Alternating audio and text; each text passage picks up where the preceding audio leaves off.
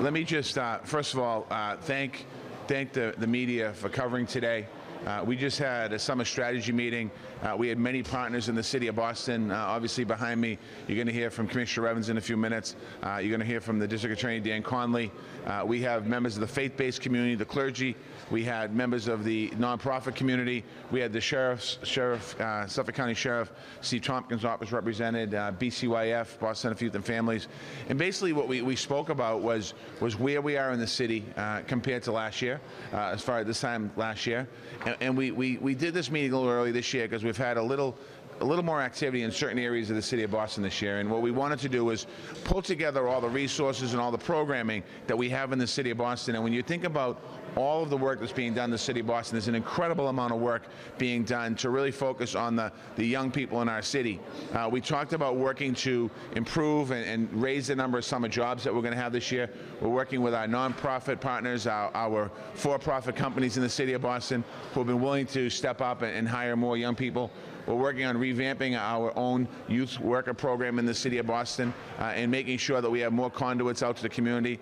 In this year's budget, we have additional trauma services in, in our community, working to really deal with the effects of violence. But we're also working on new ways of reaching out to the, reaching out to parents, reaching out to young people about how do we prevent them from, from, from an act of violence. And that was a lot of the focus of today's meeting. Uh, we're going to be continuing to work on the street worker program. We're going to be continuing the street walks, the peace walks, all things are important, but I know that the questions that will come from you when this is over is what about this shooting and what about that shooting? What the intention for today is to end violence and reduce the violence in the city of Boston. That's the intention of this conversation today. It's about dealing with the root cause of violence in the city of Boston.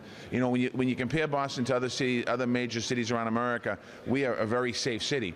But that doesn't mean anything for me. When we have, and it doesn't mean anything for the commissioner. When we have one homicide and we have to notify a parent that they lost their, their child, that's a that's a terrible situation to be in. And we want to do is, is reduce that number this year. So I commend all the folks that are here today, and I'd like to turn the, the, the microphone over to Commissioner Evans, and then uh, District Attorney Dan Conley is going to speak. And we have a bunch of people here from civic engagement in the city of Boston. We have people from the faith-based community here. Uh, we have people from, as I said, all different people, so we can answer just about any question that you might have. Commissioner.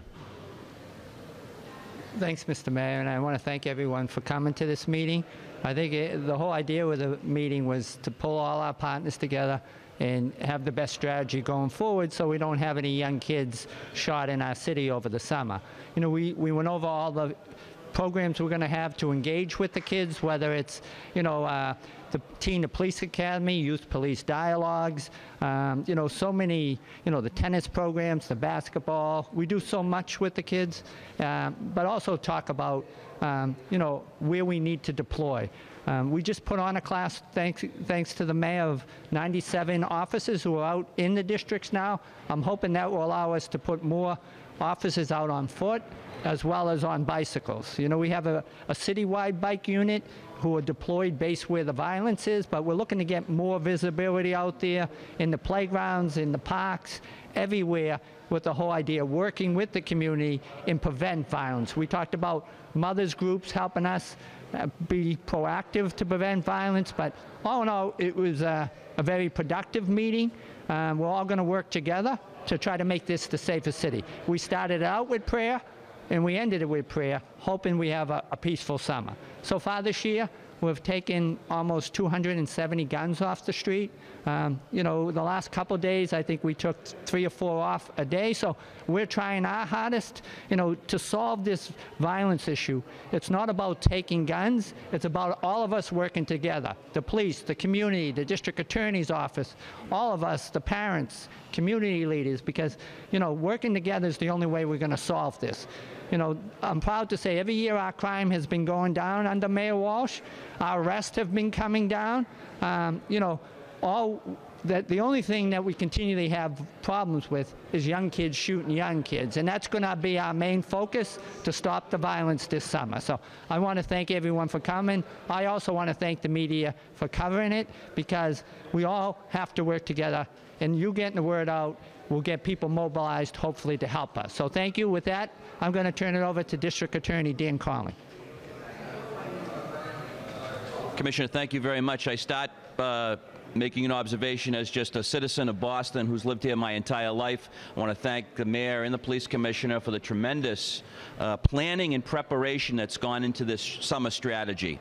It was very impressive, and they are well prepared to deal with anything that may come this summer. So congratulations to them, and thank you to them as, as we all should be thankful to them as citizens for the work that they've put into this preparation. But gun violence or violence and gun violence in particular is, a, is, is impulsive generally. So they can only do so much. And they've worked very hard to, to put a lot of things in place so that kids don't resort to picking up guns and shooting one another. So the message I guess that I would send as the district attorney now is this. Please take advantage of the programs and the opportunities that are in place for you this summer. But arrayed to my left and right, there are so many people that want to help you. And my hope for you is that you, in fact, will take that opportunity and not resort to joining gangs, picking up guns, or using violence. But I will say this if you do, then we are going to come down on you very hard in our office, anyways. We are going to try to hold you accountable and keep you off of the street this summer. That's not what you want. That's not what we want. So please take advantage of these many programs. And if you're a community based organization and you're not here today, I'd ask you to reach out to the police department and join in. If you care about this issue, join us to make this the safest summer in the history of the city of Boston. Thank you very much. I'm going to ask uh, one more one more person to come to this microphone. Uh, one of the things that I hear and the commissioner hears a lot is untreated trauma. Uh, when, when a young person experiences violence, when a community experiences violence, um, how do we respond to that in getting the proper services out to the community to talk to these young people that are hurting because their friend, their brother, their sister, their cousin, uh, somebody they're connected with lost their life. And we've really been focusing in the last two years, three years here now in the city in specific trauma teams. And the person that leads that team is, is no stranger to Boston. Uh, he's a spiritual leader in our city, but he's also a leader in the trauma service. I'd like to ask Mark Scott to come up and say a few words. Thank you, Mayor. Uh, and, thank you to, to, all of the folks who have spoken so far. Uh, it really is the working together that will make the difference. Uh, as the mayor said, the city has uh, trauma teams that are buried in part of the neighborhoods that we're most concerned about. So those teams are, are, are in the neighborhoods. They're, they're, they're, they have capacity to get people into uh, services, uh, both practical concrete services, but also mental health services so that people can be on the road to recovery after some violent incident has happened. We also have a team uh, that is Boston Trauma Response that is part of JRI. They're part of our network.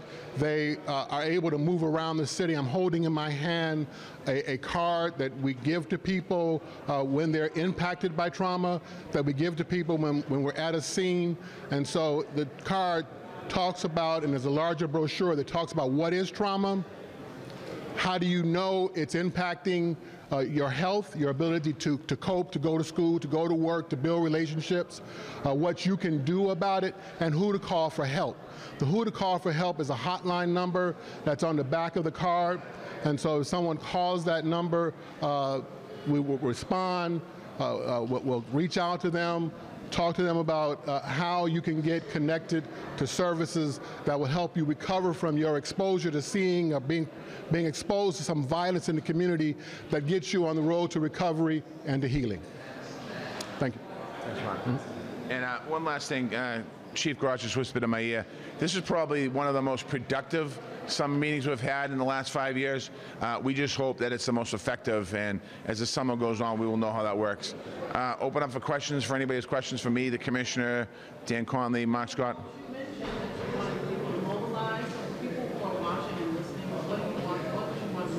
We're going to be, whether it's a peace walk, uh, whether it's, it's, it's helping identify some young people that might need help. Maybe it's a summer job. Maybe maybe it's just a, a hug.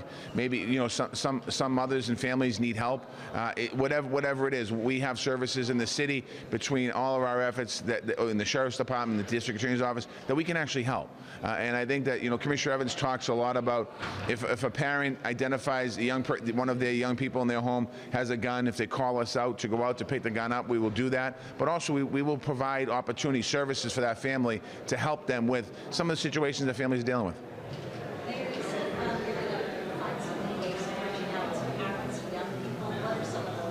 We're still working on. We talked about a strategy, and so I'm not. we- We're just putting it all together now. But we have a lot of mothers groups in the city of Boston.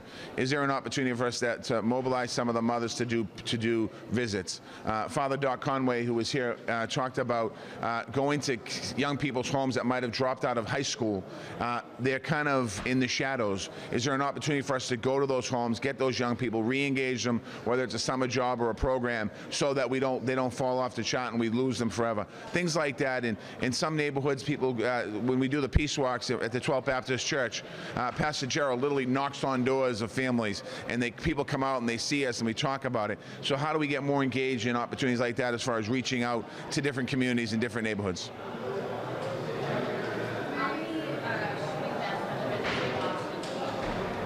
Shooting This year, I believe, um, right now, I think about, our homicide right now um, is 16 for the year. I think three of them were stabbed, so we have, you know, and so we are up right now, um, six homicides from where we were last year, but tomorrow, last year, we had four it was the day the doctors died, which is, is sad, and two others. So, uh, if we, uh, knock on wood, if we don't have any today, then we'll be down two tomorrow. So, the good thing is we're down almost 10 shootings so far this year from last year. So overall, gun violence is down. Uh, unfortunately, we had uh, two more deaths than we will have uh, as of tomorrow. So, uh, again, we've, we've We've taken 270 guns off the street. A lot of young kids, which is concerning. You know, last week we had a 16 and 18 year old fire shots behind the building, and the officers chased them down. So when we talk about strategy, we talk about getting the guns out of these young kids' hands, and, and it just can't be a police problem because somehow they're getting them. We need the mothers to help us. Don't be afraid to call us if they need help. Community members, community organizations, but you know, four months through the year, we have 16 deaths too many, but like the mayor said, we're probably clearly, anyone would take that numbers for a major city, but we won't be happy until we have zero homicides and zero shootings. Last question, and the 270 guns, is that this year? So far this year, yeah, yeah, yeah. I mean, uh, to tell you the issue we're having, we got three guns off an individual from Maine yesterday, 70-year-old guy riding around the city with three guns. And, you know, if he parks that car somewhere, then those three guns are stolen, and then we're out there dealing with the violence from those three guns. And, you know, as we always say, you know, we still have the gun buyback program out there. So if people want to turn in their guns, if people um, want a gun lock, we have those. We usually send out letters. And obviously, if your gun's stolen, or you're going to sell it, or you know, transfer it, by state law, you got to go into a computer database and record that because you know that's the way we can trace guns and find out where all the guns are coming. So you know, we get good gun laws here. Um, we just got to you know make sure they're enforced and, and also work with other states so they adopt our gun laws. Thank you, everybody. Thank you.